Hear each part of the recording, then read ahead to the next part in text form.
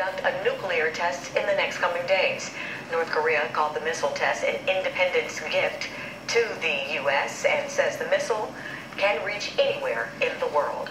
A show of force from the United States and South Korea in response. The countries conducting joint missile tests less than 24 hours after North Korea's missile test.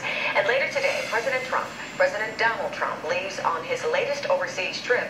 He's going to Europe for the G20 summit. Now, the first stop is Poland. Before heading to the summit in Germany, President Trump will have his first face-to-face meeting with Russian President Vladimir Putin. It will now be a formal meeting on the sidelines of the summit. And the Reddit user who originally posted the video of President Trump body slamming CNN is now apologizing. The user has not given his real name, and his Reddit name is one that we can say right here on Good Day Chicago, but he claims that the video was just a prank to fire people up online and didn't know it would be picked up by President Trump.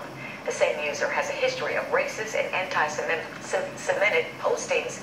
He also deleted his account. The autopsy on that man who drowned in Lake Michigan while trying to save his nephew.